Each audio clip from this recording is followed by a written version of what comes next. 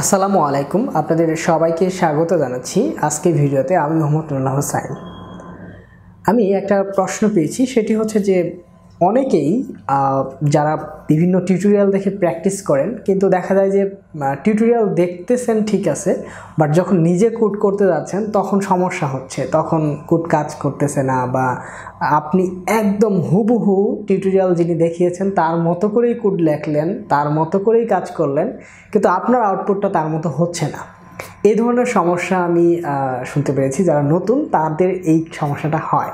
তো এই সমস্যাটা কেন হয়? চলুন জানা যাক এবং এই সমস্যাটার সমাধান কি সেটাও জানা যাক। আমরা যখন ইউটিউবে বিভিন্ন ধরনের টিউটোরিয়াল দেখে থাকি দেখা যায় টিউটোরিয়ালগুলো বিভিন্ন বছর মানে বিগত বেশ কয়েক বছর আগে টিউটোরিয়ালগুলো আমরা দেখে থাকি। মানে সবগুলোই যে একেবারে কয়েক মাস আগের টিউটোরিয়াল, সেটি পাওয়া সম্ভবও হয় না বা দেখারও সুযোগ হয় না। তো এখন এই ক্ষেত্রে মনে করুন একজন ইনস্ট্রাক্টর যিনি ভিডিওটি করে রেখেছেন দু বছর আগে বা তিন বছর আগে, তো তিন বছর আগে উনি বুড়িস্টাপ থ্রি দিয়ে তিনি কোডটা করলেন বা উনি বুড়িস্টাপ ফোরেই কাজ করলেন। বুড়িস্টাপের লেটেস্ট ভার্সন বুড়িস্টাপ ফোর উনি ব্যবহার করেছেন। এখন উনি যে ভার্সনটা ব্যবহার করেছেন, সেটি হচ্ছে Bootstrap version four point zero point zero তো এখন আপনি যখন প্র্যাকটিস করতে গেছেন, তখন দেখা যাচ্ছে যে বুটস্ট্যাপের ভার্সনটি একটু আপডেট হয়ে যায়। হতে পারে সেটি ফোর পয়েন্ট হতে পারে, সেটি ফোর পয়েন্ট থ্রি তো এই যে ভার্সনটা আপডেট হলো, আপনি কিন্তু সে দেখিয়ে দিল বুটস্ট্যাপ কল করতে হবে, ব্যাস। আপনি তার দেখানো মতো ওয়েবসাইটে গেলেন ডাউনলোড করলেন তারপর আপনার স্ক্রিপ্ট অ্যাড করলেন। আপনি অ্যাড করে ফেললেন কিন্তু ফোর পয়েন্ট থ্রি আর উনি যখন ভিডিওটি একই পদ্ধতিতে উনি গেট বুড়িস্টাপ ডট কমে গেল বুড়িস্টাপটা ডাউনলোড করল, তারপর উনি কিন্তু ফোর পয়েন্ট জিরো যেটি, সেটি ব্যবহার করছেন। তো সিস্টেম একই বাট আপনারা দুজনে দুই স্ক্রিপ্ট ব্যবহার করলেন। তো এক্ষেত্রে যদি কোনো বিশেষ পরিবর্তন থেকে থাকে, সেই পরিবর্তনটি মানে মানে আগের কোনো একটি কোড যদি ডেপ্লিকেটেড হয়ে থাকে, কোনো একটি কোড যদি কাজ না করে নতুন ভার্সনে, তখন আপনার এই সমস্যাটা তৈরি হবে। অনেক ক্ষেত্রে আরেকটা সমস্যা হয়, সেটি হচ্ছে যে দেখা যায় যে জেকুইর পুরাতন ভার্সনগুলো ব্যবহার করছেন। দুই বছর, তিন বছর আগে টিউটোরিয়াল সেখানে যে জেকুইর যে ভার্সনটা ছিল, সেই ভার্সনটি উনি ব্যবহার করেছেন।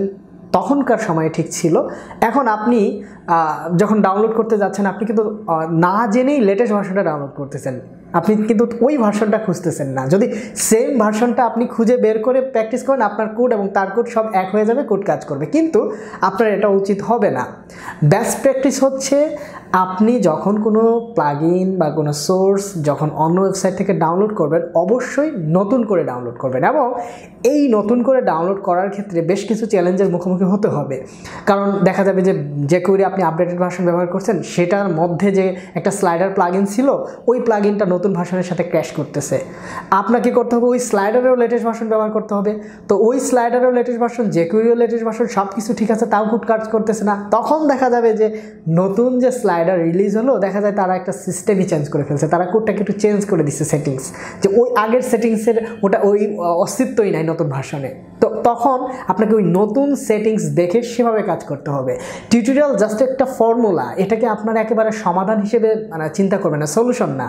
টিউটোরিয়াল সলিউশন না, এটা একটা ফর্মুলা আপনাকে ফর্মুলা দেওয়া হয়েছে, সেই ফর্মুলা দেখে আপনি হাজারটা সলিউশন বের করেন। আপনা, আপনাকে দেখানো হয়েছে যে যে কোনো ওয়েবসাইটে গিয়ে এইভাবে যে কোনো প্লাগনগুলো ডাউনলোড করতে হয় এইভাবে স্লাইডার ডাউনলোড করতে হয় এইভাবে স্লাইডার বিভিন্ন এইচটিএমএল টেমপ্লেট ইউজ করতে হয় বা অন্য ওয়ার্ডপ্রেস বা যে কোনো সিএমএস ইউজ করতে হয়, আপনি এটা দেখলেন। এবার আপনি লেটেস্ট ভার্সন ব্যবহার করে যদি কোনো চ্যালেঞ্জের মুখোমুখি হন, তাহলে সেটি ওভারকাম করতে পারলে আপনি একজন প্রকৃত ওয়েব ডেভেলপার বা প্রোগ্রামার তো এক্ষেত্রে যে সমস্যাটা হয়, দেখা যায় যে পুরাতন টিউটোরিয়াল দেখতেছি, নতুন সোর্স ব্যবহার করতেছি, কাজ করতেছে না, মাথা গন্ডগোল, মাথা কাজ করতেছে না, তখন মনে হয় যে না, আর প্রোগ্রামিং করব না। অনেকেই কাজকর্ম বাদ দিয়ে বসে থাকেন ইউটিউবে মুভি দেখেন ইউটিউবে নাটক সিনেমা দেখেন, এগুলো করা যাবে না।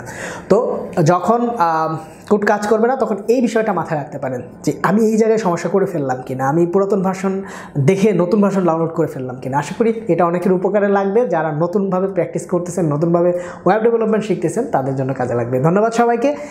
একই ফর্মুলা অন্যান্য ক্ষেত্রেও গ্রাফিক্স ডিজাইনেও হতে পারে। দেখা যায় আপনার পুরান জিনিস দেখতেছি নতুন সফটওয়্যারে তো এই বিষয়গুলো মাথায় রাখবেন, আশা করি কোনো সমস্যা হবে না। তো আরও কোনো প্রশ্ন থাকলে ফ্রিল্যান্সিং করার ক্ষেত্রে ওয়েব ডেভেলপমেন্ট শেখার ক্ষেত্রে কোনো সমস্যা থাকলে অবশ্যই আমাকে জানাবেন। জানানোর মাধ্যম হচ্ছে ইমেল করতে পারেন।